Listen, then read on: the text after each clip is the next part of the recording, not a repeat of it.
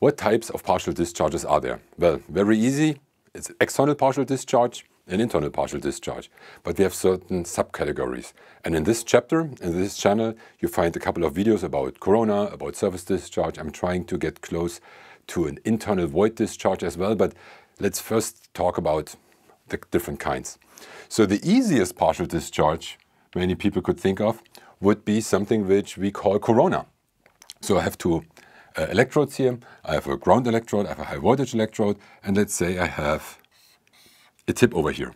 Example given, I have, um, I have a little bit of metal here. So let's say I have something like this. This is kind of pointy over here. I might have something like this or something like that. And um, very often the partial discharge inception voltage, there's a video about that, usually depends on, first of all, the distance between um, the sharp edge and the ground electrode, but very importantly, about how pointy they are. The pointier they are, the more likely it is that you have partial discharges. I give an example, and it is very oversimplification and rough thing, right? So this is kind of pointy. I could expect that this might start partial discharges if the ground electrode is not too far away, maybe already at 5, 6, 7 kV. This one over here, I would probably say, well, you're probably safe up to, if this would be the pointy edge, they're probably safe up to, I don't know, uh, 40, 50, 60 kV. And uh, this one over here, this is probably somewhere in the area of, I don't know, 30 kV, 40 kV. So this one being tippy or pointy is the worst. This uh, comes a little bit later, and this is the latest.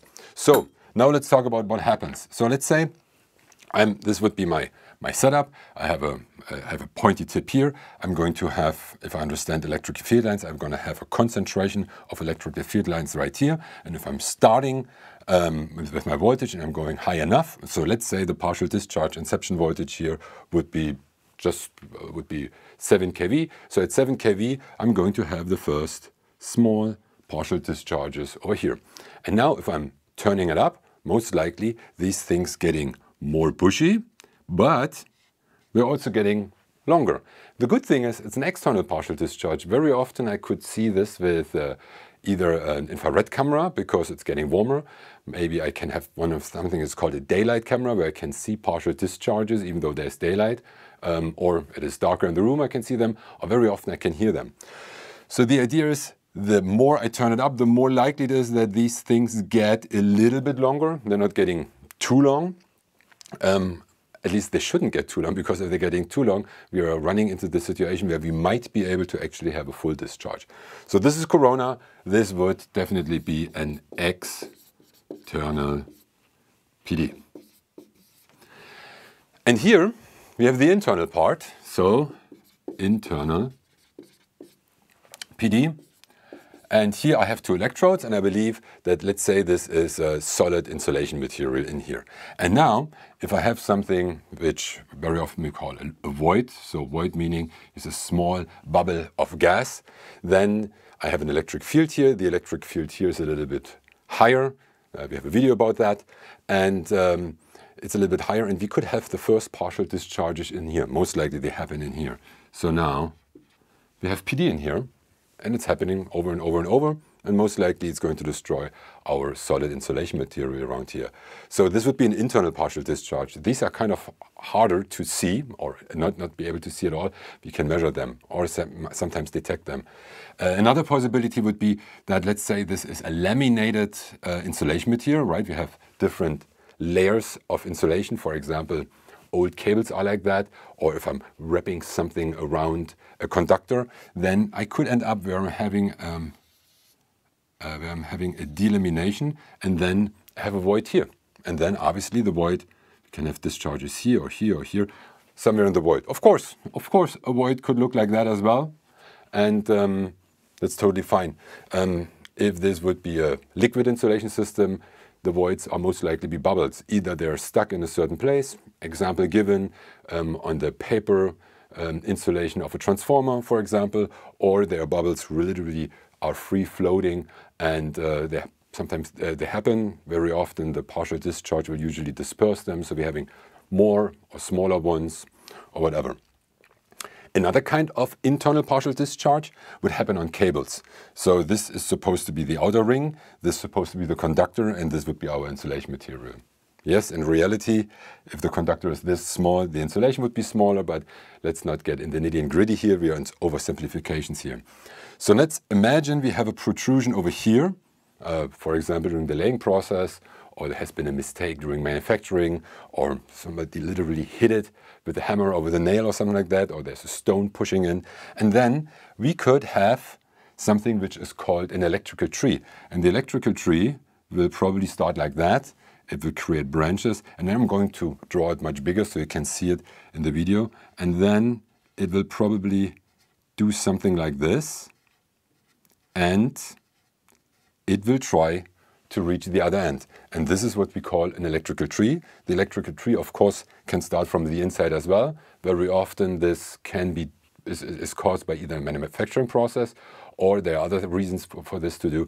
For example, if the bending radius wasn't uh, looked at and the cable was bent too much, something like this could happen. And then we could have an electrical tree growing here as well. And very often they will try to follow the electric field lines that um, one could draw here. So that's pretty much it for the internal partial discharges. So the only thing that is left is in the middle. And this is what we would call a surface discharge. And here I've drawn a ground plate, I have an insulator over here, and I have an electrode. So this electrode would be HV, and this would be ground. And if I'm looking at that, I can imagine how the electric field lines um, might start or might, might, uh, might uh, develop. And over here, we're probably going to have a homogeneous electrical field, right? They should be all the same distance. However, because this would be my high voltage electrode, the electric field lines here would probably be, be a little bit like that. And at a certain point in time, they would definitely be like that, but I'm not clever enough to figure out when is the first one happening here. I would need a software for that. So what is going to happen here is we're having um, something which is called a triple point, at least. This is how I had to remember that when I was in university and I went for my exam. And the most important thing is surface discharge, triple point. So what I have here is I have the triple point between a conductor, an insulator, and in this case, what I draw here was air. And then, most likely, it is an internal, uh, it's an external partial discharge because it's happening in air. However, this could happen inside as well. Example given in an oil-filled transformer. In this case, this would not be air, but this would be oil. But the same characteristics apply.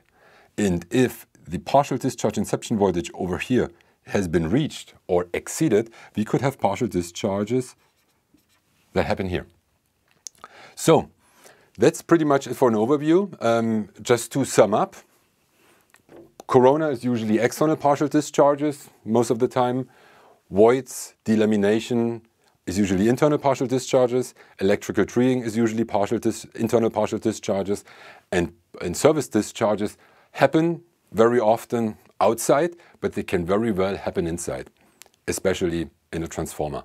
And um, sometimes we even have a combination of void and surface discharges, example given, um, if I'm having a cable and um, I'm making a mistake on how I'm installing, for example, the end termination, I'm creating, I'm having an area where um, the um, surface discharge phenomena concerning the electrical field lines happen, but at the same time it's an enclosed area. For example, if I didn't use the proper grease or I didn't do use enough mastic, and then I'm having a small void where a surface discharge happens, and then it looks a little bit different.